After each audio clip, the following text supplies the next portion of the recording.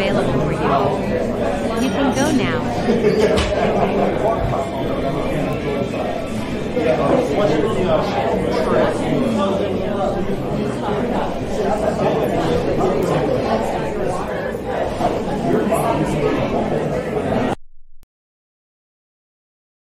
I would like to say, original Abiath Flores Animations Caillou has been cooked to death and Vittorio's Caillou sacrificed himself to drag original Abiath Flores Animations Caillou's parents to hell.